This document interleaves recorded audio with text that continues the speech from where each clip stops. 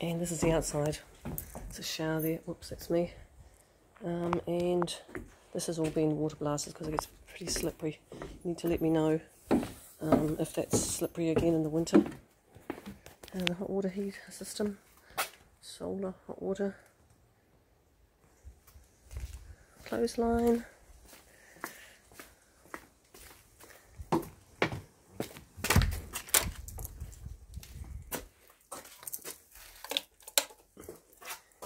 Okay, so there's equipment here for heating um, and this is the furniture that was in the pool, uh, the boat shed and these lounges also can be used if you wish.